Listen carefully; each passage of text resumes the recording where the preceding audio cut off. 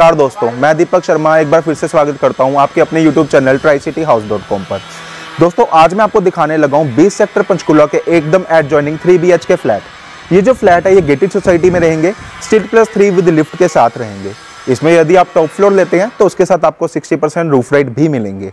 तो बिना time waste किए, आइए सीधा लेकर चलता हूँ आपको हमारे फ्लैट की तरफ़। तो दोस्तों, ये रहेगी आपकी लिफ्ट लिफ्ट से निकलते ही इस तरफ़ आपका फ्लैट आ जाएगा। आप देख सकते हैं काफ़ी अच्छा इसमें ड्राइंग डाइनिंग एरिया रहेगा। अब अगर मैं ड्राइंग डाइनिंग एरिया की बात करूँ, यहाँ पर हमारे पास काफ़ी अच्छी स्पेस आ जाएगी। आप देख सकते हैं already we have done six seater seating arrangement and इसी के साथ जो आपकी मास्टर वॉल है, यहाँ पर आपकी पसंद का टेक्सचर या फिर वॉलपेपर रहेगा। हम आपको ऑप्शंस दे देंगे। उसमें से जो आपको आपके घर के हिसाब से बेटर लगे, वो आप करा सकते हैं।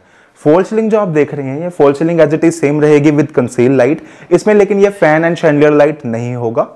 इस तरफ़ आ जाएगा आपका पूजा रूम की स्पेस तो यहाँ पर आपका खाली शाफ्ट होगा up to the roof top यहाँ पर आप देख सकते हैं जो मंदिर की स्पेस है, यहाँ पर खाली शाफ्ट रहेगा up to the roof top तक। आप इसे कन्वर्ट कर सकते हैं टेंपल की स्पेस में या फिर यहाँ पर आप क्रॉकरी स्टैंड भी सेट कर सकते हैं। इस साइड आपकी डाइनिंग स्पेस आ जाएगी। इसी के साथ हमारी अटैच किचन रहेगी। एज यू कैन सी काफ़ी अच्छी स्पेस रहेगी किचन की। एज इट इज़ सेम आपको किचन मिल रही है, बस इसमें हॉक नहीं होगा। नीचे जो पैनल्स लगे हैं इसमें, ये सारे के सारे सॉफ्ट टच पैनल्स रहेंगे। सो चिमनी ऑलरेडी हमने इंस्टॉल की हुई है, यहाँ पर प्रोविज़न रहेगी। नेचुरल लाइटनिंग के लिए हमने यहाँ पर ऑलरेडी विंडो दे रखी है। इस तरफ़ आपके फ्रीजर के लिए अलग से स्पेस आ जाएगी। तो आपका जो फ्रीजर है, वो यहाँ पर आप सेट कर सकते हैं। आइए सीधा लेकर चलता हूँ आपको अपने फ़र्स्ट बेडरूम में।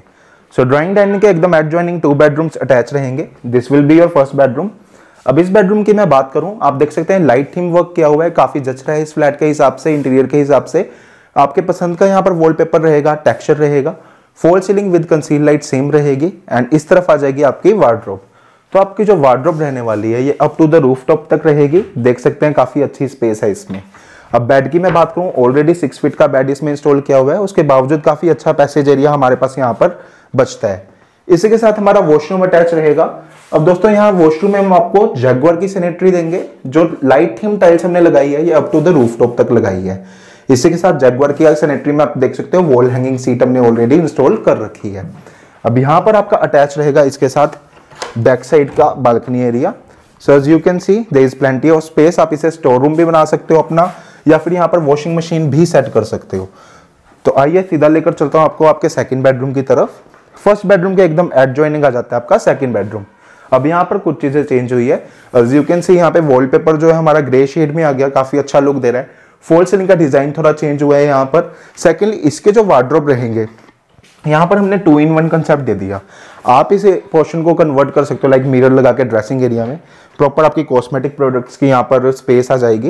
एंड इस तरफ़ रहेगा आपका प्रॉपर वार्ड्रोब एरिया अब इसके साथ भी आपका वॉशरूम अटैच रहेगा। ये रहा आपका second washroom up to the rooftop तक टाइल्स लगी हुई है। लाइट थीम टाइल का वर्क है। एंड अगेन इसमें सारा का सारा काम जैगवार की सैनिटरी का हो रखा है।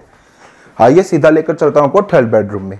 अब दोस्तों, जो थर्ड बेडरूम है, किड्स बेडरूम या गेस्ट बेडरूम, ये आपकी एंट्रेंस से थोड़ा ज़्यादा नज़दीक रहेगा, ताकि आपके घर कोई गेस्ट आया, उनकी एक अलग प्रीफेसी मेंटेन रहे।